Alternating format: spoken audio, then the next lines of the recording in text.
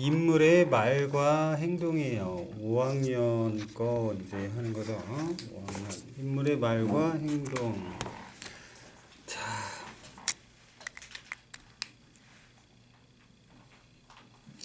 시에 대해서 이 시에 등장하는 인물이 나오네요. 그리고 이야기에도 인물이 나오잖아요. 그죠? 시와 이야기에 대해서 배우는 거예요. 이번에는 옆에 보면은 시가 한 편 나오고요. 옛 이야기가 나오고요. 이야기가 나오고요. 이야기가 나와요. 이야기 세 편에 시한 편에 대한 건데 특히 여기에서 말과 행동을 많이 보도록 할 거예요. 요 단원에서는. 자, 시에 등장하는 인물이 있을 텐데 그 사람의 생각을 한번 짐작하려면 뭐를 해야 돼? 인물의 말과 행동을 보면은 그 사람의 말과 행동을 보면은 뭐를 알 수 있다고? 인물의 생각을 우리는 100% 아는 게 아니라 짐작을 하는 거죠. 맞죠? 짐작을 하는 거예요. 또 작품 속의 인물의 상황하고 비슷한 자신의 경험을 떠올려도 어, 인물의 생각을 짐작할 수가 있어요. 어떻게 자신의 경험을 떠올려요. 자신의 경험을 떠올리는 거예요. 경험을 떠올려도 생각을 짐작할 수 있어요. 그죠? 비슷한 상황에 비슷한 경험을 떠올리면 내가 무슨 생각했다라고 그러면 그죠? 이 시에서 이 인물의 생각을 짐작할 수 있겠죠? 비슷하겠죠?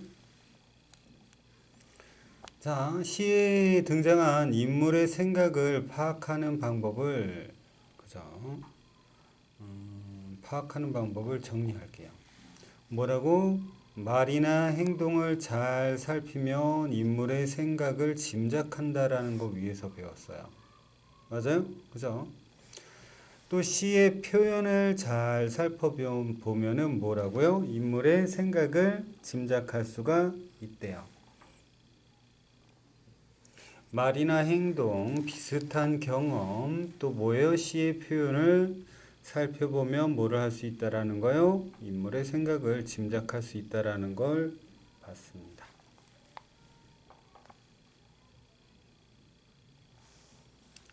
시에 등장하는 인물의 생각은 작품 표면에 드러나지 않고 함축되어 있는 경우가 많아. 대충 읽어서 모르고 의미를 곱씹어가면서 생각해보면 알 수 있다라는 거야. 대충은 안 보여요. 자, 등장인물의 말과 행동을 살피면서 글 읽어볼게요. 이번에는 이 글은 이야기를 얘기하는 걸 거예요. 이야기에 등장하는 인물의 말과 행동을 주의하면서 글을 읽을 거예요.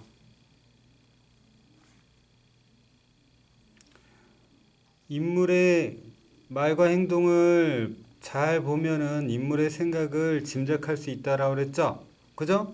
그러니까 인물의 말과 행동 중에서 그지 알 수 있는 거를 찾아봐야 되겠지 말과 행동을 그지 그 사람의 생각을 알 수 있는 걸 그리고 말과 행동을 통해서 우리는 그 인물의 생각을 짐작할 수 있다라고 시에서도 배웠어 그죠 맞아요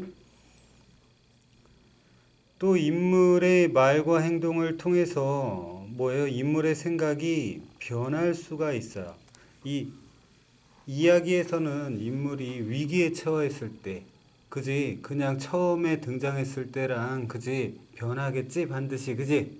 맞아요? 그거를 인물의 말과 행동을 잘 볼 거예요. 자, 작품에 등장한 인물의 생각을 파악하는 방법을 한번 정리해 보도록 할 거예요. 우리 시랑 이야기랑 똑같아요. 인물의 말과 행동을 보면, 그죠? 생각을 짐작해요.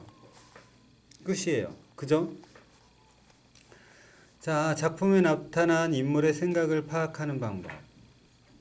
작품에 등장하는 다양한 인물의 생각을 파악하면, 그지? 이런 걸 하면은, 음, 왜 하냐라는 거죠. 왜 그런 거를 하냐라는 거죠. 자신과 다른 인물을 이해도 하고 포용, 받아들이기 위해서예요.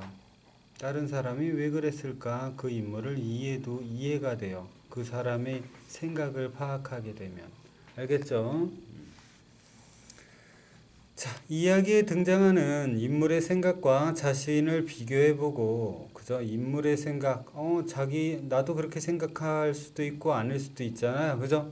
자신의 생각하고 비교해 볼 거야. 인물의, 이야기에 등장하는 인물의 생각과 자신의 생각을 비교해 볼 거야. 같은 상황에서도 인물의 생각이 다양하다는 걸 알 수 있어요. 어, 나는 이렇게 안 하는데 주인공은 이렇게 하는구나. 그지? 또 문학 작품을 통해서 다양한 인물이 있다는 것도 알게 돼요. 아, 다양한 인물이 있어서 다양한 생각도 나오는 거구나. 이런 것도 알게 될 거예요.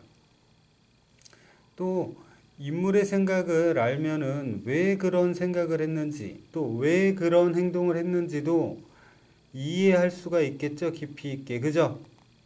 생각을 알면, 그지? 인물의 생각에 대해서 자신의 생각을 한번 표현해 볼게요. 인물의 생각과 자신의 생각을 한번 보도록 할게요.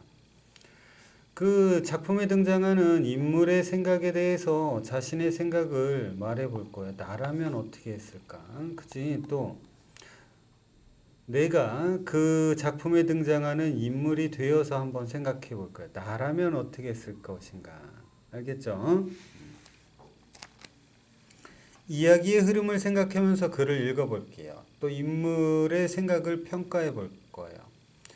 글을 읽을 거예요. 그 다음에 내용을 한번 정리해 볼 거예요. 상황과 관련지어서 인물의 생각과 자신의 생각을 비교해 볼 거예요. 그죠? 또 인물의 생각에 대해서 자신의 생각을 말해 볼 거예요. 그죠? 또 그 인물이 어떤 문제를 해결할 거잖아요. 그게 어, 맞는지 틀리는지 자신의 생각과 비교해서 평가 한번 해볼 거예요. 알았죠? 응? 인물의 생각을 평가하면 좋은 점은 뭐예요? 어, 평가를 통해서 다양한 아 다양한 삶이 있고 다양한 생각이 있구나라는 것을 우리는 뭐를 할 수가 있어요? 이해를 할 수가 있어요. 다양함을 그지 이해를 할 수가 있어요. 알겠죠? 함께 쓰는 우산은 시예요. 시.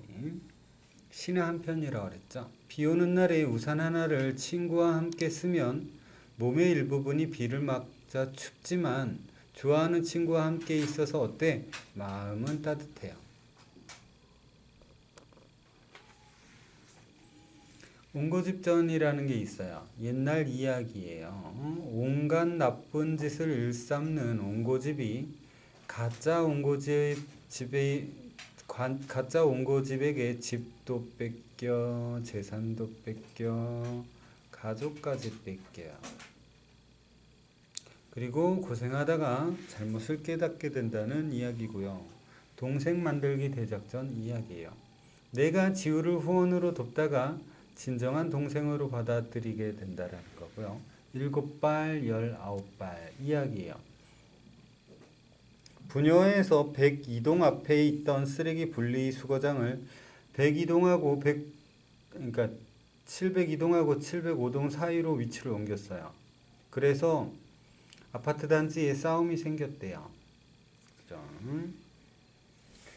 그 정도 보고 어, 이거는 읽어보시고요. 음, 문제를 한번 풀도록 합시다.